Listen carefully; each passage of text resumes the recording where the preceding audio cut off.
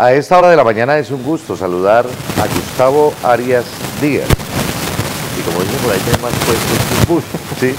Gustavo es el director del hogar de paso del menor eh, adscrito a la Secretaría de Bienestar Social, pero además también es el director del hogar infantil Tomás Uribe, uno de los más conocidos de, digamos, de esa muy bonita apuesta que tiene el Instituto Colombiano de Bienestar Familiar en Tuluá.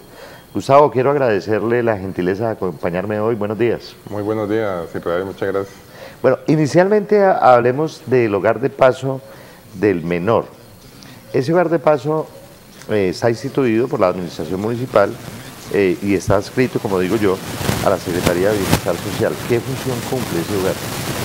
Bueno, el hogar de paso del municipio de Tuluá es una medida de restablecimiento de derechos, de ubicación inicial tenemos aquí? Allí tenemos es una casa, una institución donde tenemos docentes, un equipo psicosocial, tenemos una persona de servicios generales, una enfermera cuando haya que tenerla y recibimos los niños que están en proceso administrativo de restablecimiento de derechos básicamente.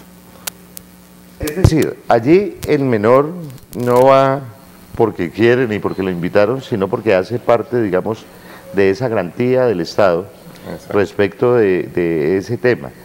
En promedio, ¿cuántos menores se manejan al mes allí? En promedio aquí en Tuluá manejamos más o menos 17 niños. Que es un promedio alto. Es un promedio alto. Sí. Eh, ¿Generalmente tienen que ver estos casos con violencia intrafamiliar? Sí, muchas veces. Situación de calle, violencia intrafamiliar, abusos.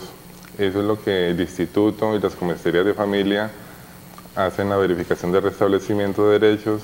Si el niño está vulnerado sus derechos, pues entonces ahí entramos nosotros a recibir el niño. El niño entra al lugar de paso y él siente que eso es un hogar como es su casa.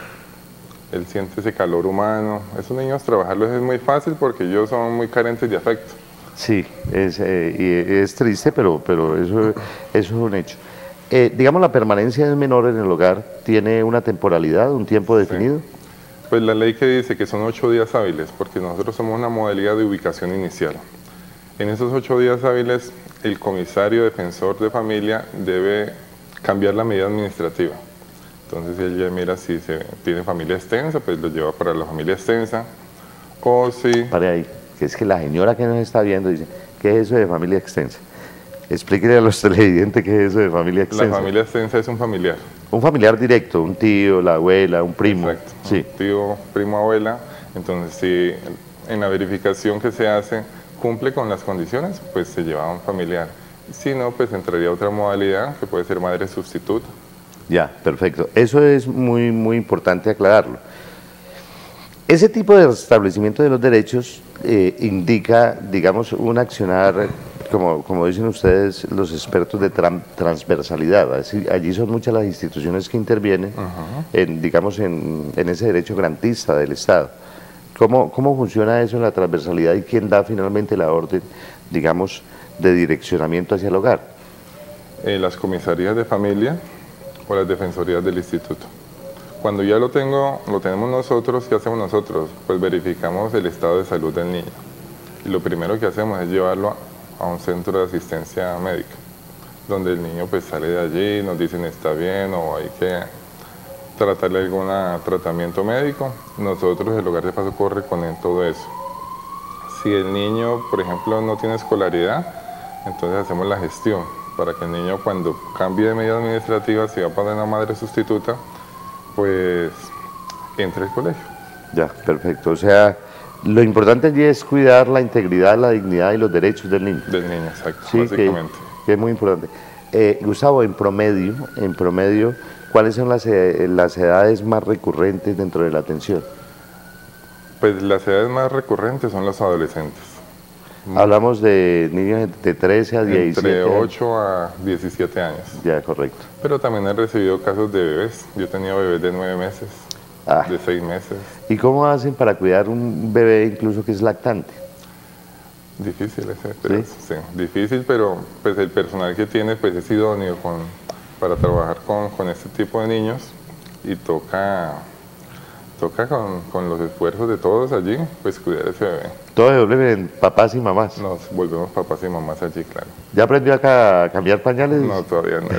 Hay que aprender a... Eso, es lo primero que tenemos que hacer los papás. Aprender a, a, cambiar pañales. No, mire, interesante el diálogo con, con Gustavo Arias Díaz, que entre otras cosas me sorprende que es administrador de empresas. Yo, yo contador, contador público. público, contador de público. Eh, pensé que era trabajador social y demás, pero él es un enamorado primero de la causa y llega primero al Instituto Colombiano de Bienestar Familiar por un concurso.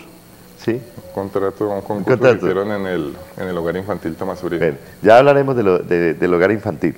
En cuanto al hogar de paso, eh, la adecuación, todo el tema, digamos, logístico de eso, eso está garantizado. Eso está garantizado, sí. Eso lo maneja pues a través de la Fundación Somos Social. Eso hay garantía de todo. Allí está. De hecho, cuando uno arranca con, este, con esta modalidad, el instituto verifica que el sitio cumpla con las condiciones técnicas. O sea que la fundación es como un operador dentro de... Es un operador, sí. Bueno, perfecto. Ahora hablemos del hogar infantil Tomás Uribe Uribe. Yo digo que es uno de los más conocidos en Tuluá y entre otras cosas la gente se pelea para llevar los menores allí porque primero hay una excelente atención, hay que reconocerlo, tiene un grupo de profesionales maravillosos, eh, hay mucha dedicación de los niños. Mm, mi hija, que ya tiene 16 años, estuvo en un hogar infantil muy similar que es Travesuras, el de Rubén Cruz, el, que dirige la doctora Oma, Estela, ¿no? Estela Tavares. Oma Estela Tavares, y también yo siempre eh, que hablo de hogares infantiles me acuerdo mucho de Travesuras porque trabajo maravilloso también el que hacen allí. ¿Cómo avanza hoy el hogar infantil? ¿Cuántos niños tiene hoy? En este momentico tenemos 200 cupos, 200 niños. 200 niños, es una población grande. Una población grande. La infraestructura se trabaja mucho porque es un edificio muy grande, muy grande, el mantenimiento es costoso, la planta de personal es una planta además muy grande, son 23 empleados allí. Es un número grande.